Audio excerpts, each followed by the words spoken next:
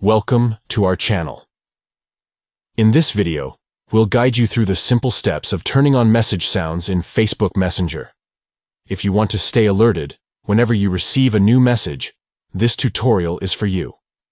Let's get started. Step 1.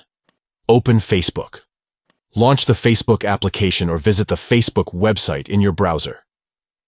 Step 2. Click on the Messenger icon located in the top right corner of your screen. This will take you to the Messenger section. Step 3. Next, click on the three dots at the top right corner of the Messenger screen. This will open the Messenger settings menu.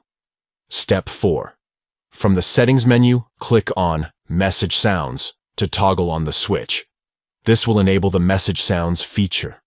By following these quick steps, you'll be able to turn on message sounds in Facebook Messenger and stay notified whenever you receive a new message. Don't forget to like and subscribe to our channel for more useful tutorials. Thank you for watching.